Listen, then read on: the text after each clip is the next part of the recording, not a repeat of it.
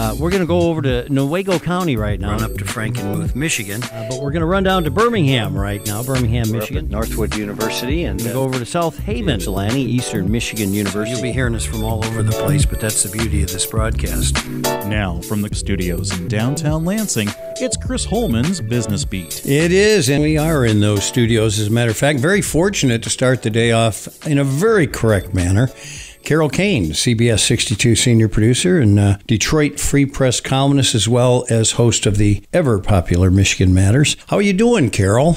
Chris, I am doing fabulous. I, I just had a question for you, though. Huh. I have been trying to get you to come down to Detroit to do the show. I'm hoping you're going to be coming in sometime soon. I am coming. As a matter of fact, I think we're scheduled.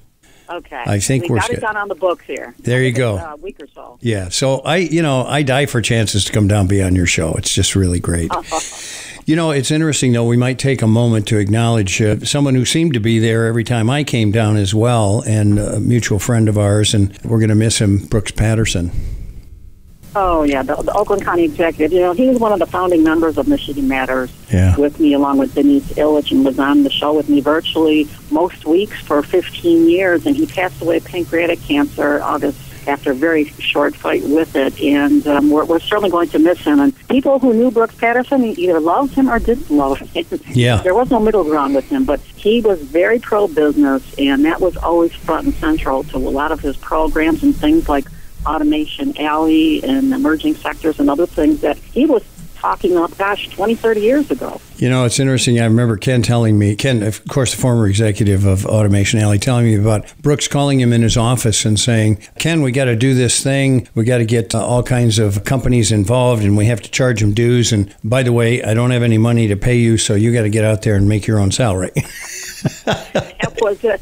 Well, in fact, Ken also, he, he ran Automation Alley along with Brooks. Yeah. from the very beginning. He was the one who was actually kind of behind the levers all the years and was Brooks's deputy and was doing double duty at Automation Alley. And he retired in 2016, and there's a guy named Tom Kelly who's now the CEO of it. But they haven't doing much. In fact, uh, Automation Alley folks just got back from a trip to China Friday, along with MEDC and five companies from Michigan, and they seem to be putting a big push on global, particularly on China. Well, you know, it's interesting because I just, I just had talked to them about two weeks before they uh, left. Noel was in, kind of in charge of that, and um, you know, I try to help where I can and kind of direct where I can. But they do a they do a great job with the people that they have and lining them up with uh, seeing some of the right people. You can go there and see what you think are the right people and, and just not get anything done because you got to, generally speaking, have kind of a communist party guy in the room and. Uh, You know, if you're going to get, There's if you're no to, doubt that, that doing business in China is not for the faint at heart. It is very difficult. It is difficult to navigate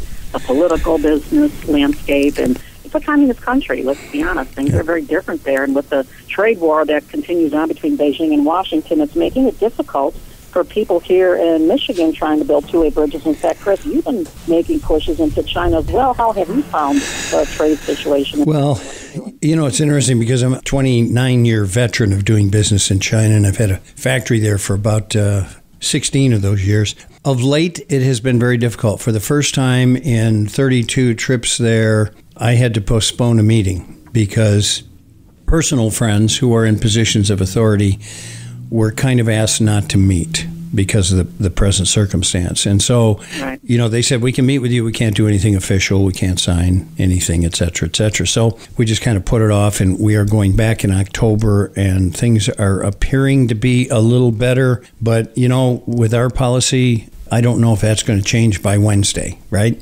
And Well, this is this is true. Well, and, and it's sort of uh, the President Trump, who's at the forefront, obviously, of what's going on with the U.S. side of this conversation. Conversations going back and forth. Will they get some sort of an agreement? Will the 2020 election factor in? Will it be done? And I know everybody, even MEDC, Jeff Mason, who's the CEO, Yeah. talked with me and talked a little bit about some of the consternations people are having. But I think people like yourself who are in the trenches doing work, trying to get things done and doing things that have two-way economic benefit to certainly here in the state and creating jobs and, and benefit are still just, you know, having to do what they're doing. It just seems to be a little bit tougher. Well, and just the fact that investment from China dropped 80% in this last year and a half, and that's all a direct yeah. correlation to this and stuff. But we did celebrate opening of diplomatic relations with China, and Detroit played an incredible part. And uh, so you hosted a ping pong tournament to celebrate. The, the ping pong, yeah, Detroit China Day, which was Friday, September 13th was marking the 40th anniversary of diplomatic relations between China and the U.S. And it all stemmed back to ping pong. The Chinese government invited the American team into play, and then the Chinese team came over here, and Richard Nixon, if you recall, went over there. And it started when the Chinese ping pong team came into the, they landed in Detroit, started in Detroit, then went to Ann Arbor and did some other significant cities around the country. But it was 40 years of diplomatic relations, and that was what the ping pong event, the China Day event last Friday was. And um, representatives from Chongqing, the Consul General from Chicago, leaders from Lansing and Detroit, and uh, it was it was an interesting event. You know, it's kind of interesting from their perspective too. You you go to China and you say, "Who do you think were our greatest presidents?" And Richard Nixon is one of them, which would not be oh, one of our first choices because he opened China, right? He did. He opened modern rule. Well, since it became a communist government in 1949, it wasn't until 19 what year was it? It was 47 years ago yeah. when they originally, you know, started with this ping pong diplomacy, which is how this all the conversations got started. Hence, when the consul general and representative from Lansing played a, a symbolic, a friendly game of ping pong, just kind of reiterating that indeed it was ping pong that kind of helped open the door. Sports is an opening conversation piece, including politics, too. It certainly is. Carol Cain, uh, as usual, never have enough time with you. Uh, I will see you in your studios soon. Carol Cain, CBS 62, senior producer, Detroit Free Press columnist, and host of Michigan Matters. You're listening to the Michigan Business Beat on the Michigan Business Network. I'm Chris Holman.